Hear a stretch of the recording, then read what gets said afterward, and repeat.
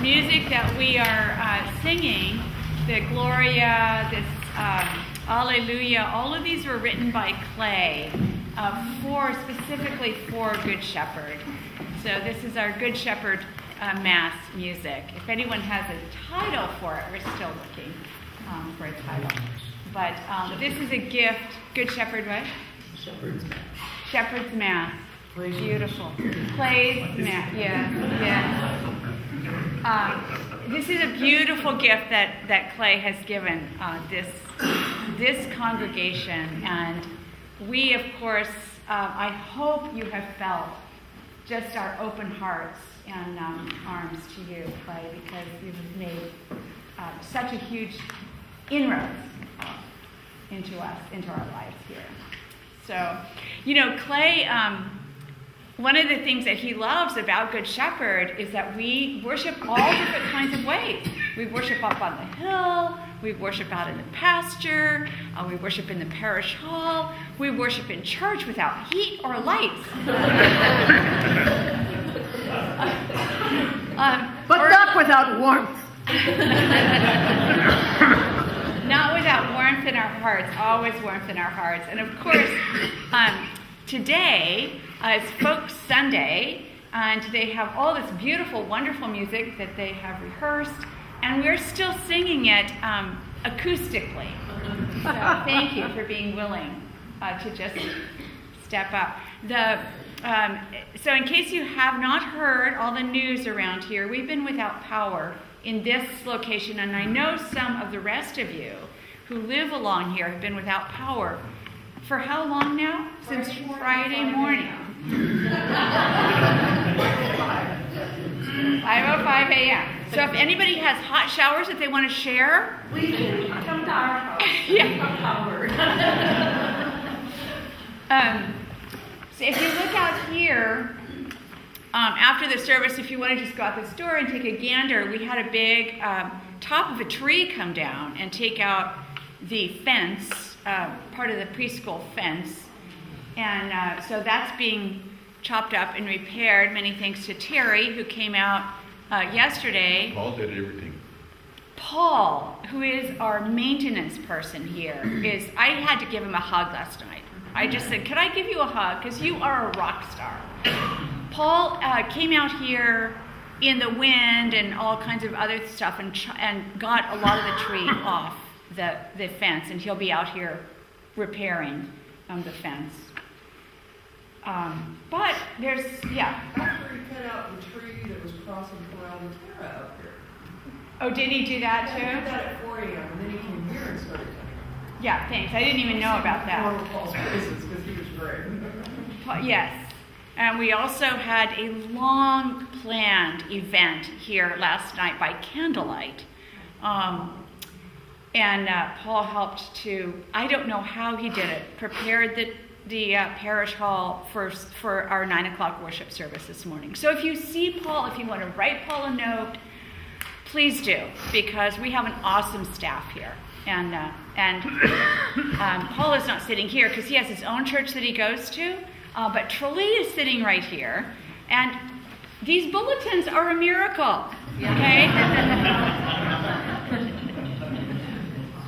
So thank you, Tralee, for. Um, anyway, I just want you to be proud of your church and proud of your the, the staff here. I started a while ago a series um, on our liturgy and why, how, and why we worship the way that we do. And so throughout the year, I'm going to continue that series. And I thought today I wanted uh, to do that. The first part of the series talked about our uh, opening, our, the way that we gather. Uh, we process as kind of an icon for us, a window into this idea that we are all on a journey, that we journey through this life and into the fullness of God um, in eternity. And so we, we have our procession, and we begin with praise and prayer. We begin in the name of the Father, of the Son, and the Holy Spirit, and of His kingdom, so that we're very clear uh, who we're worshiping and where we're going. We're going into the fullness of God's kingdom. the second part of our service that takes up a, a very big piece of our service is called the Word of God. And so we hear the scriptures read, and um, we hear a lot of scripture. We hear a lot of Bible uh, in, in our church. We hear from the Old Testament, the Psalms, the epistles, which are the letters to the early churches, and the gospel.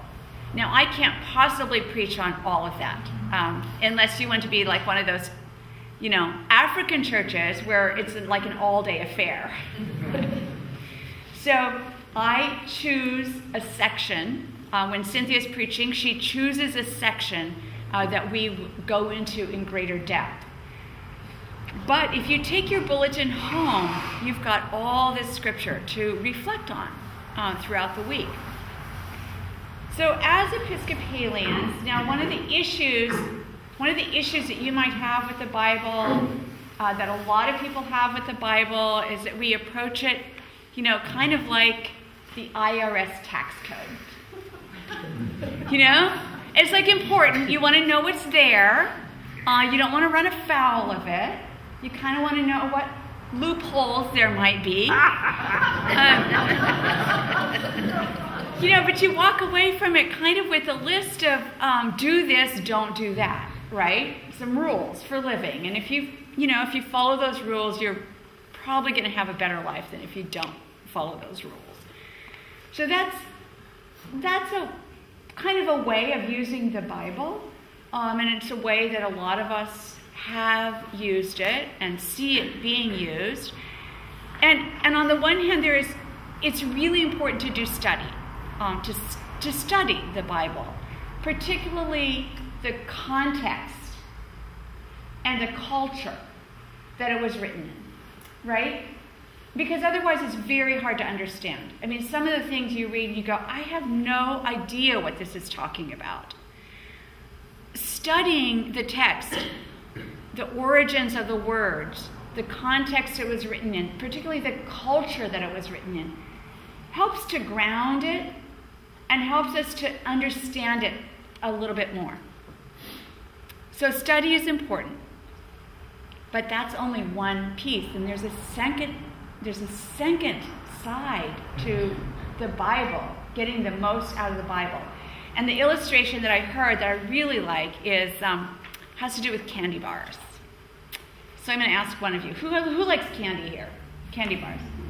What's your favorite candy bar? See's Scotch Mallow. See's Scotch Mallow. yeah. Snickers. Snickers. Five Yeah. seconds. uh, okay. Right. Almond joy with that. That's the coconut, right? Love it. Okay, so you've got this See's Scotch mallow, and you dissect it. Okay, you, you have it, you cut it up, you look at the various layers, like what's inside. Is it marshmallow inside? Caramel and marshmallow and dark chocolate. Oh, like how can you go wrong? Caramel, marshmallow, and dark chocolate. You cut it up, you admire the caramel, the chocolate, which is actually good for you, right? Antioxidants. Um, if you really want to know, you kind of read the ingredients, and you got to acknowledge the grams of sugar there, the uh, percentage of fat, um, the percent, you know, again, you admire it, it's gorgeous. And then you walk away from it. Like, would anyone do that? Donna, would you walk away from your scotch and mallow? No. No. I mean, if you just like, okay, you you got it down, you know what's there. That's like just studying the Bible. Okay, you study it, great, got some nuggets from that. You want to you want to eat the scotch mallow. Otherwise, like, so you put it in your mouth, you savor it, you melt it in your mouth, you enjoy it. That's the other side of the scripture uh, that we that it's called meditation. Scripture meditation. Now, some people, I don't think many people in this church, but some people have a hard time with the word meditation, right? Because that's what Eastern religions do. Um, but you know, Eastern religions also fast. They, a lot of them actually quote the Bible. They pray. So meditation is part of is part of our faith also. Um, I mean, in, the Psalms, it's at least 17 times the psalmist urges us to meditate on the on the Word of God. And so that's the piece I want to talk about is this scripture meditation so that you enjoy, you can taste it. And, and what you do for the scripture meditation is you take you can take this home and try it out. Just like read the gospel. And you're going to ask Jesus, what what strikes you? What captures your attention? And just sit with that for a while. Sit with what captures your attention. At eight o'clock, we, you know, somebody just stopped on those words, do not resist an evildoer. Like, don't resist an evildoer? Aren't we supposed to resist evil? Um, and then have a conversation with God about that. Why did you draw my attention to that? That is really challenging. I don't like that. What do you mean? Um, or that's just what I need to encourage me right now. But you just want to sit, have a conversation with God, and eventually pray and then rest. So it's that scripture meditation is called you read the text, you reflect on it, you respond in prayer, and then you just rest. Just rest. Just enjoy God's presence. It turns out that that's what we do in our liturgy. That's what we're doing here in our liturgy is we read the text, we reflect on it, which is what I'm doing right now. Okay, we're reflecting together. I'm speaking, but we're reflecting together on what the text could be. We respond because you know, it would be really rude if I if I spoke with Debbie and she said nothing back to me. Like if she never responded, it'd be kind of rude, right? So God speaks to us, and if we don't respond back with prayer, it's like, well, where's the conversation? So we respond with prayer, which is our creed and our prayers of the people. That's our response to God. And you know what our rest is? How we rest in God? Around the table. Then we move into the, re- the, the rest, which is Holy Communion. And that's what we'll talk about in another ser- in another piece of this series is what happens around the table for us. But I just want to kind of break open the Bible for you in a way that allows God to meet you there. God wants to, to meet us in Scripture. And, and when we combine study with meditation, with reading, reflecting, responding in prayer, and then just resting quietly. We get more out of it.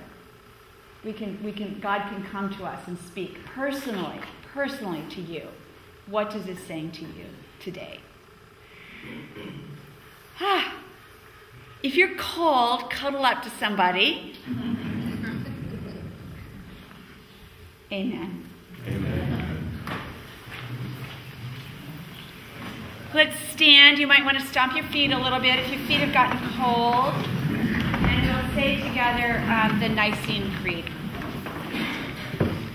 And just kind of help here. Sorry.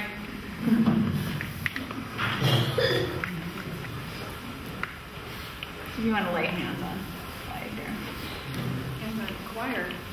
And the choir, if they're choir members, yeah, choir members. Ron's here. You sing and play it all. Holy and gracious God, we give you praise and thanks that um, that you brought Clay to us and that we have shared in his ministry of music, the, the ministry that you have clearly called him to. Uh, we thank you for his love for the church, for his love for us, um, and for his service to your people. We ask your blessing now on him as he journeys with his wife Elizabeth uh, to Arizona and on into uh, the rest of the ministry that you will call him to. Open doors for him um, that he might that he might blossom, that he might share his gifts in the places that you have um, already prepared for him to go. We ask all of this In the name of Jesus, we lay our hands upon you in the name of the Father, and the Son, and the Holy Spirit, sending you off with our love. Amen. Amen. Amen.